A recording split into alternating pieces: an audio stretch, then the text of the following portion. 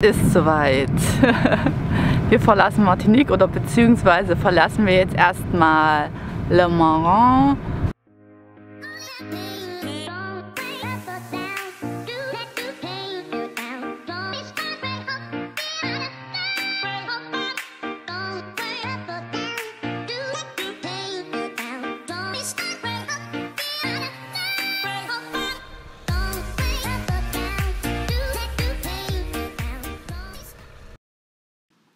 Wir verbringen noch mal einen letzten gemeinsamen Abend mit Freunden, bevor wir dann St. Ann endgültig verlassen.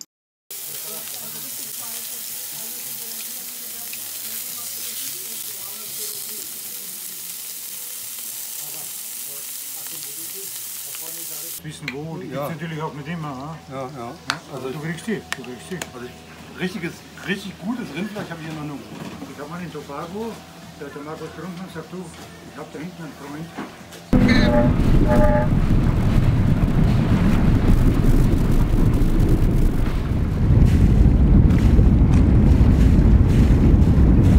Das Schwierige beim Aufbruch beziehungsweise ja, bevor man ähm, irgendwie eine Insel oder dergleichen verlässt, ist nicht unbedingt ähm, der Start ins Ungewisse, ins nächste Abenteuer.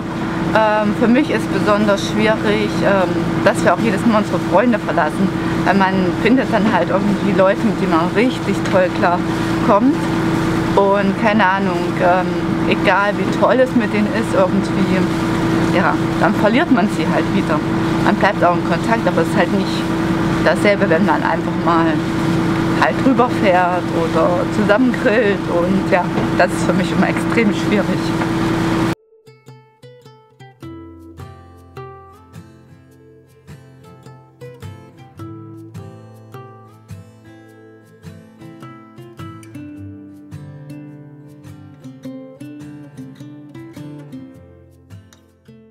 Ist soweit.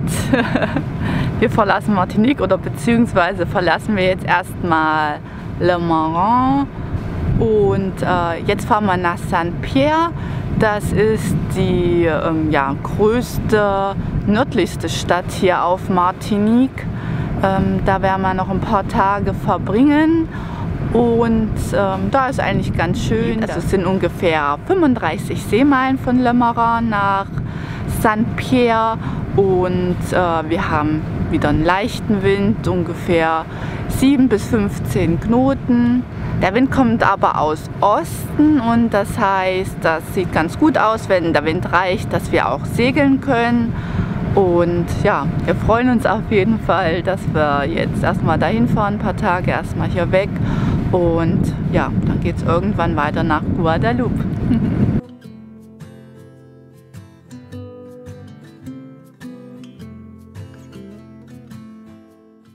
Wir haben heute einen sehr entspannten Segeltag, beziehungsweise konnten wir erstmal den Anfang gar nicht segeln, weil halt gar kein Wind da war oder so gut wie gar keiner.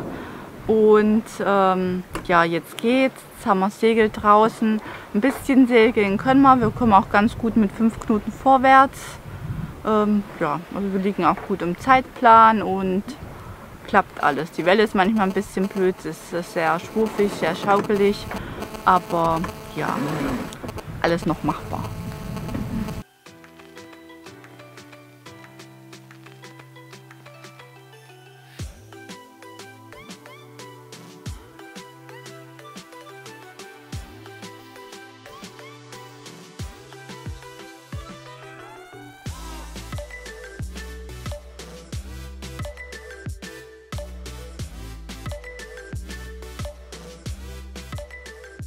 Tja, wir haben mal fast keinen Wind, drei Knoten. Aber wir machen durchaus fünf, fünf, ah, fünf Knoten Fahrt, weil die Strömung so stark ist. Aber ich glaube, ich muss gleich das Segel wenden. Auf die andere Seite.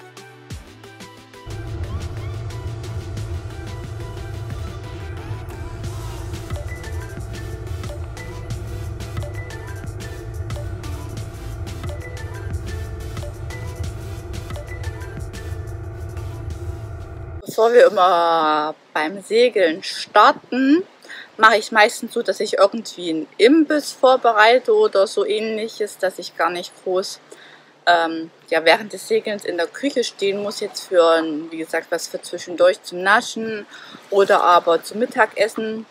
Wie jetzt gibt es einen kleinen Snack, einmal Wassermelone und das habe ich halt fertig zugeschnitten. Ist vor bei allen bei leichter Seekrank auch ganz praktisch, dass ich so wenig wie möglich eigentlich nach unten muss und ähm, ja, dass wir trotzdem gut versorgt sind. Bei Wassermelone ist natürlich nochmal doppelt praktisch, äh, nicht nur ein kleiner Snack, sondern vor allem Flüssigkeit, weil da ja viel Wasser drin ist. Und das ist ja so wichtig jetzt vor allem, weil es heute auch sehr heiß ist und manchmal vergessen wir halt genug zu trinken. Deswegen ist das auch eine tolle Lösung für uns.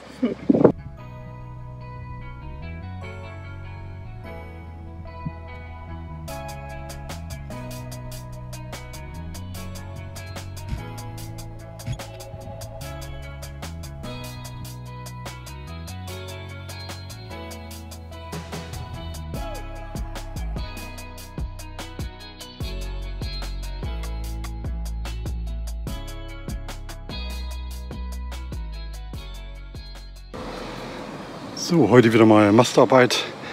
Wieder hat die Tricolor ihren Geist aufgegeben. Ich habe mein, mein schönen Hütchen heute auf, weil es hier oben ganz schön sonnig ist. Und ich habe noch ein anderes Problem.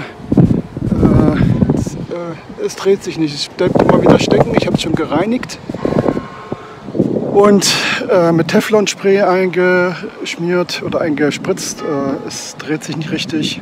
Habe auch das Ganze ausgewaschen. So eine richtige Lösung habe ich derzeit nicht.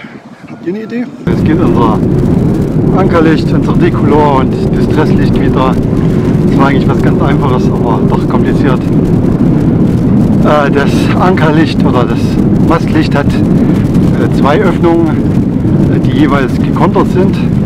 Und an der ersten Öffnung habe ich immer aufgemacht und habe nichts gefunden, keine Kontakte, nichts.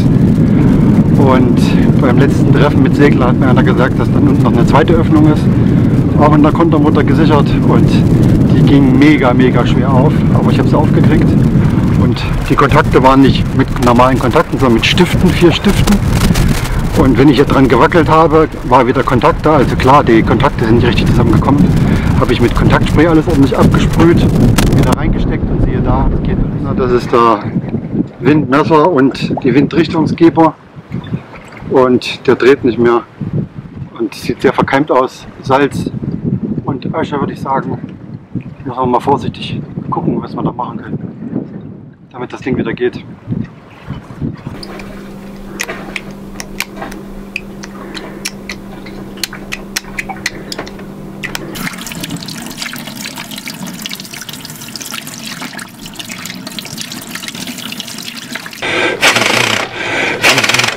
Willst du mal stehen? Jetzt geht's. Das könnte wirklich Dreck gewesen sein.